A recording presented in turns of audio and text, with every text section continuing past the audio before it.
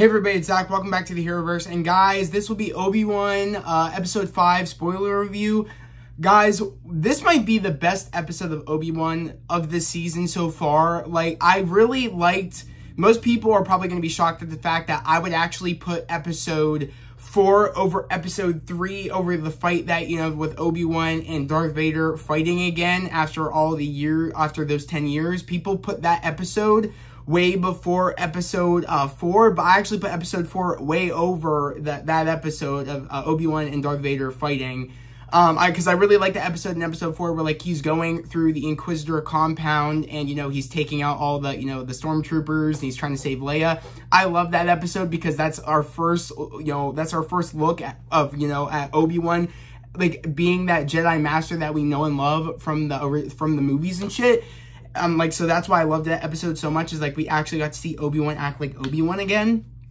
Um, but in this episode, I would probably put this episode probably over episode um five episode four only for the fact in the beginning of this episode we start off by seeing hayden christensen back as of course as anakin skywalker and it's and it's the same it's like a it's back in like uh the the Clone Wars. It's like in the Clone Wars flashback of Attack of the Clones because you know, of course, Hayden Christensen has his hair back in like the braid how he had in Attack of the Clones, and also you know, uh, you know, uh, Obi Wan has his mullet, like his long mullet hair that he had before. So clearly, we know it's in the time of Attacking the Clones, aka the Clone Wars, that everybody's been wanting. So I just really enjoyed the fact that we got to see that scene of Obi Wan and Anakin doing training at the Jedi Temple. It was just really nice to see Hayden Christensen back in his outfit, back in the role as Anakin Skywalker, and seeing Obi-Wan and him acting like brothers. I just really enjoyed it. It was really nice to see.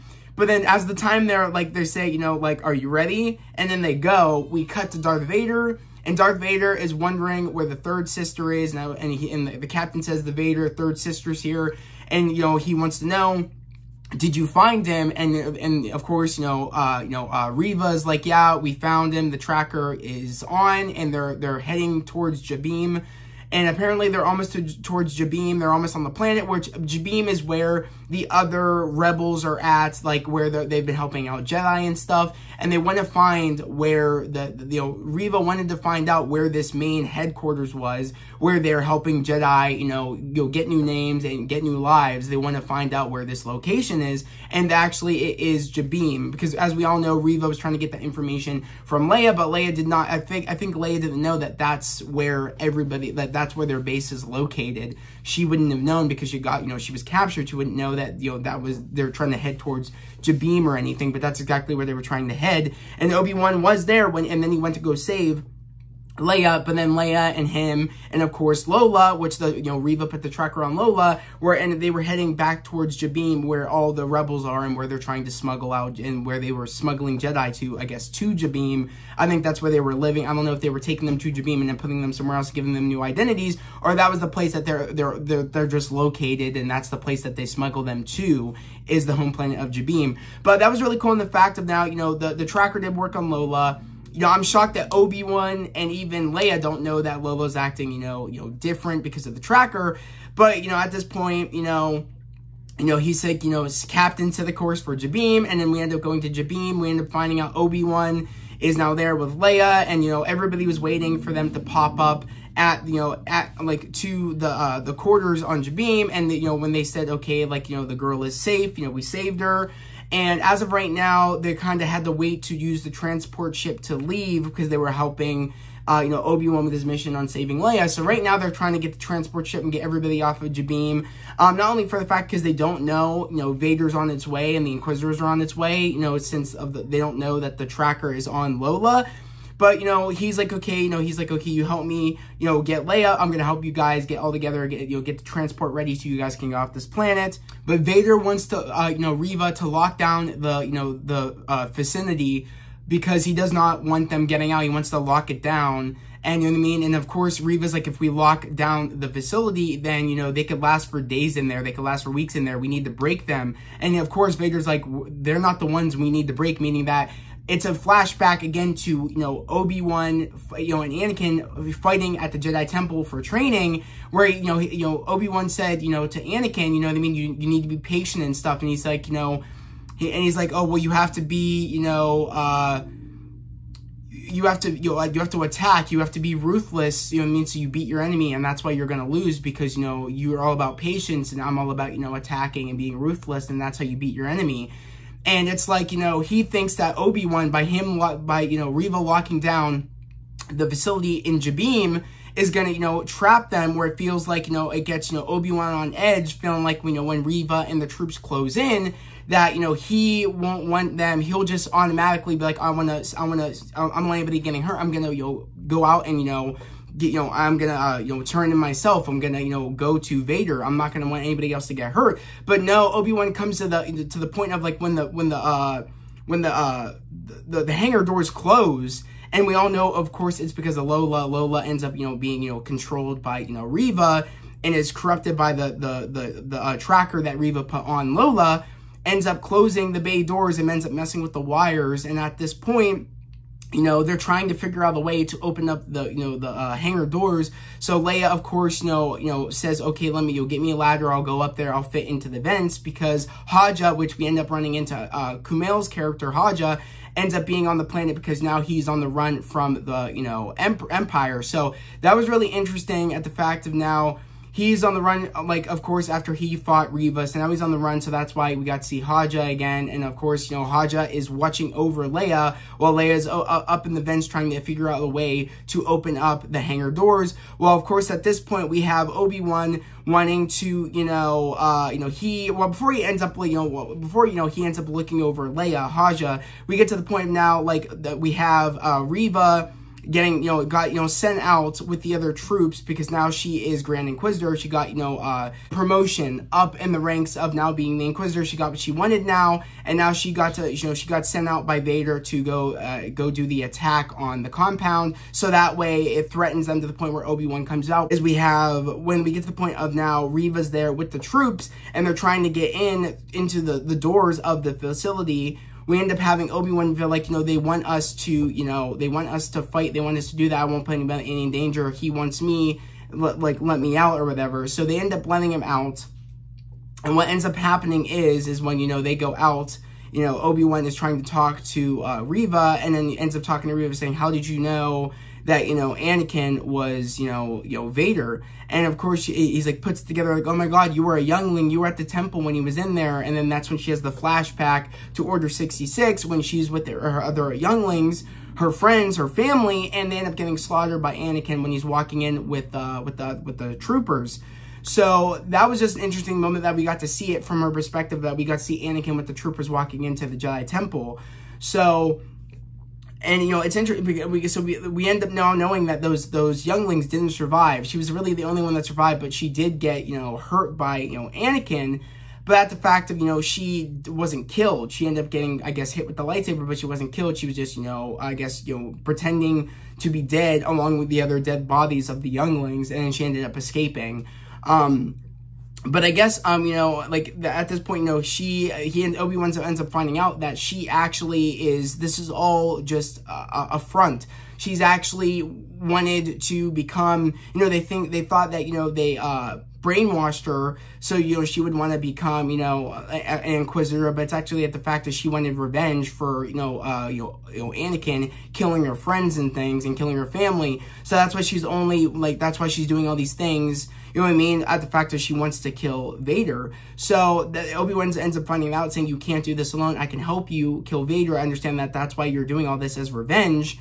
And she's like, what makes me, what makes you think I need your help? And then we get to the point where like, you know, something's about to happen. She ends up breaking down the door and she, and she ends up getting in there and that's what ends up happening. She ends up, you know, putting her lightsaber through thinking that she was to stab Obi-Wan, but then she ends up breaking the door down, ends up breaking the seal on the, on the, the doors that they have closed trying to you know close off the facility because they closed off all the entrances and but even though Vader didn't want them getting away through the sky because that's the only way they really can get away through the the transport ship and through the hangar doors. There's other doors oh, like that could have been opened through the entrance, and they closed all the other entrance way doors to get out. Um, so that way, you know, the troopers couldn't come in and, you know, pretty much, you know, kill them all. That's why they had to block off all the other entrances.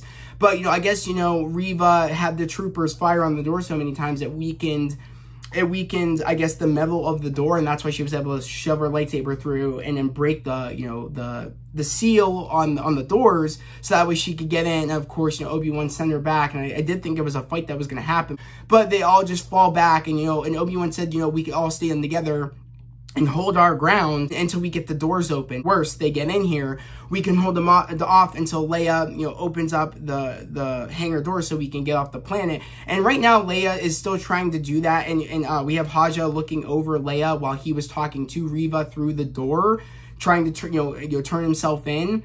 But of course, you know, she broke in, and now at the at this point, now they have to defend the you know the the compound until you know Leia opens up the the doors. And what shocked me is when Leia is trying to find the red wire so she could plug it back in so the the hangar doors open. She doesn't see Lola until the last minute, where like Lola does end up coming out trying to hurt Leia. But Leia ends up finding out that there's a tracker on Lola, ends up taking it off, and now Lola is uh, back, you know, is good again. So Lola's trying to help Leia, trying to find out where she needs to plug in the thing, and she, she ends up finding where she needs to plug in the port so the hangar doors open. And you know, you know, we end up finding to the point where she's trying to figure out where where the where the cord is, and it takes her a minute we end up getting to the point where like you know they're being overrun. They're trying to get into the other section of where the hangar is because there's multiple sections of i guess of course where of the compound. And they're in the main they're in the main door of the compound and they have to go through the tunnel to that where the hangar is. And they end up you know there, there's a door to close off the tunnel to get like to the main front door of the compound and to the hangar. And you know they're being so overrun right now uh you know obi-wan and all the other rebels. We get to the point where like uh we have uh Tala sacrifice herself so that way Obi-Wan can get out of there and so they can, you know, and so they could buy Leia some more time. So they end up blowing up the tunnel. She ends up closing off the, the tunnel, ends up blowing it up with, you know, the troopers and Reva in there. Shockingly enough, I don't know how Reva survived, but she must have got out of there quick enough and the other troopers died. And but you know, we end up getting to the point where like Reva ends up coming back towards the end. Um, you know, like we don't see her until towards the end of the episode when you know Vader ends up showing up after you know uh, we get the uh, the doors open we end up having Vader coming through thinking he's going to stop the ship, which was amazing because when Vader walks in and the ship ends up taking off and we think it's the ship that all the rebels are on after Leia ended up opening up the bay, the, you know, the hangar doors and all, everybody's just running to the transport ship. When Vader ends up walking in there, I didn't know what he was going to do, but when he stopped it, I was so stunned I was like, oh my god, they're really showing off Vader's true power. Like, holy shit. Like, out of all the other movies we've seen of Vader, and even in the cartoons, I have not seen that at all. They really showed us how powerful Vader is. And it's crazy because he's this powerful in the comics, but they're actually showing it here, which was really awesome that Dave Filoni and all them are really trying to show this off. Mainly, uh, you know, Deborah, Ch Deborah Chow, I think that's her name, or Deborah Cho. I think it's Deborah Chow. I, I could be getting it wrong. Sorry if I am. But, you know, she really is working together with Dave Filoni and Jon Favreau and all this on the fact of, you know, how to give us fans like how the how they give us fans what we really want with Vader and and we really want to see his true power and we did when he stopped that transport ship and and it's really struggling to to get out and then he ends up slamming it down the ground ripping out ripping the side of the transport ship off thinking that they're in there but it ends up being that there's another transport ship on the other side and they end up getting away and then we see Reva come in. And that was a very interesting moment where like Reva well, you know, the Obi-Wan said to, you know, Reva through the doors saying, oh, I can help you. I can, you know, I mean, he's, he's distracted by me. Then that's when you can get the jump on him because, you know, he's just so focused on me, but it didn't work. He ended up sensing it and we got the big fight between, of course, you know, uh, you know, uh, Reva and Vader, which was really cool to see Vader literally stopping every, like, you know, uh, fight move that Reva was trying to put on him and end up pretty much, you know, he ends up doing the final, you know, uh, final uh, act of, you know, killing Reva because he didn't kill Reva when she was a youngling, or at least he thought he did. But the thing is, is that he knew that Reva was that youngling. He knew that, you know, he, he said, you know, keep my enemies closer. That's why I brought you on. You think that I didn't know that you wanted revenge? You think I didn't recognize you? I did. So he did that all on purpose, you know, keeping your enemies closer. And then, of course, we end up seeing the actual Grand Inquisitor that we thought died um, actually pop back up which we all knew, like when we all thought he died, but then, you know, it came out where, you know,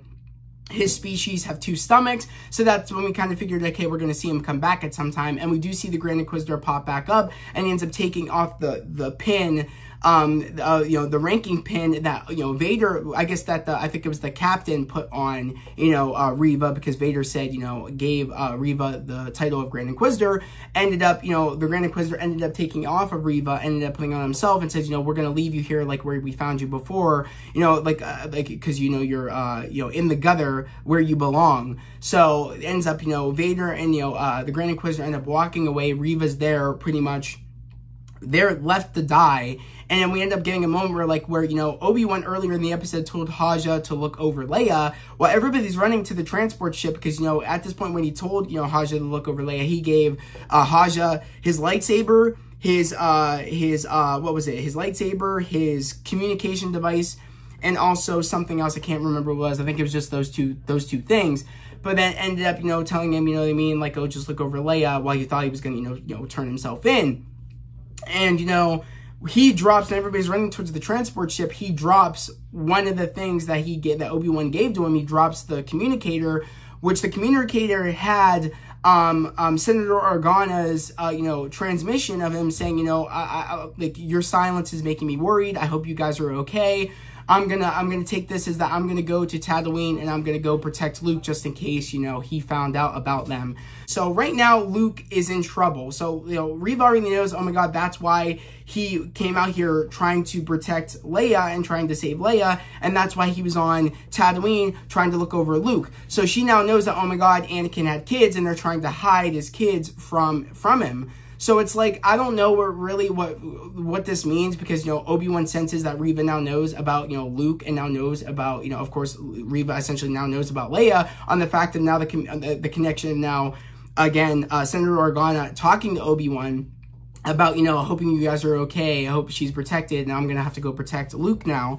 Knowing that, oh my God, you know, Leia, I was on to something. Leia is Anakin's kid. Luke is Anakin's kid. And now that's why, you know, Obi-Wan is already with, you know, Leia but now I need to go and go get, uh, you know, I need to go and go get Luke now. I don't know if this means that Reva is going to somehow, like, she got a killing blow where I'm shocked that she'll be able to get on a transport ship or something or find one and get off the planet and go to Tatooine. But if she were to do that, what does that mean exactly? I don't know if this means she's going to fly there and try to maybe get Luke for herself. So that way, it, like, because she kind of assumes maybe that like, oh my god, I don't want Obi-Wan training Luke because he'll turn out to be like his father. Maybe she wants to prevent something like that happening again. That's the only that's the only way I was taking it now that she knows is that she doesn't want Luke to become how Anakin becomes on the fact of Obi-Wan training Anakin. So I think that's why she would go there just to get Luke out of there because she doesn't want Obi-Wan training Luke and doesn't want an Anakin 2.0 or Vader 2.0. So I'm thinking that's the only way the writers are trying to tell us that. Maybe that's what she's going to do. I don't know. I was worried that when, you know, Haja dropped that communicator, Vader was going to find it. And I was afraid that that was going to affect, uh, you know, uh, what eventually is going to happen in New Hope. It would have uh, totally ruined New Hope if Vader would have found that, that, uh, you know, the, uh, the communicator that had, you know, General, uh, Senator Organa talking about it. So that would have just been like, terrible if Vader found it. I'm so glad he didn't. And uh, it's interesting now that, again, uh, Reva found it. And I told my sister maybe it's going to be like a moment where, like, you know, she's on her deathbed and, you know, and we have Obi-Wan. And it's kind of like the version where, like, you know, we have, uh, you know, Reva falling in, uh, you know, in Obi-Wan's arms and says, oh, like, is, like, is that, so that's why you were here to protect the Chosen One or whatever and, and all that stuff, like, our, our new hope and stuff like that. So is that, is that why is that why you're here? And like, you know what I mean? And, and, and like, and maybe she'll say, uh, to Obi-Wan, do it right this time. Don't make don't let him become Anakin and don't make the same mistake again. I don't know. I'm just interested to know what the last episode will be next week. It should be very interesting to, to see what happens next week. I'm really, I'm really excited to see what's going to happen in the, in, in the last episode. I'm excited. Um, but yeah, guys, let me know down in the comments below. What did you guys think about this episode? I'm really curious to know what you guys thought about this episode and what you guys, uh, I'm really curious to know also what your theories are, um, you know, go, going into the next episode. And let me know where your theories correct about, you know, did you have an idea of like, did you guys think also Reva was one of the younglings? Did you guys see this coming where she wasn't like actually, you know, uh, she wasn't actually for the Empire. She was actually trying to go against them and trying to kill Anakin on, on the fact that Anakin killed her family. Did you see that coming, that twist? I, I kind of saw it coming because I kind of knew that she was one of the younglings. And I bet you I kind of knew that she probably wanted revenge. That's why she was doing what she was doing. I kind of saw it coming. But, um, yeah, I just really loved this episode. I'm, I'm really excited to see what the finale will be, be like. But yeah, guys, again, if you're new to the channel, subscribe to the channel, turn those notifications, like this video. I'd love to have you guys here, a part of the fam, a part of the channel. We're all about spreading love, positivity, and motivation. And yet again, guys, we're almost to 600 subscribers. Right now, we're at 528, almost 600. Uh, my goal is to get to 600 before the end of June, but my initial goal is to get to 1,000 before the end of this year. I know we can do that again with your love and your support. I, I know we can do it, guys. But yeah, guys, that was the video. I hope everybody has a, a safe day, a great, hope everybody has a great day, a safe day, and I'll see you guys next time. Peace.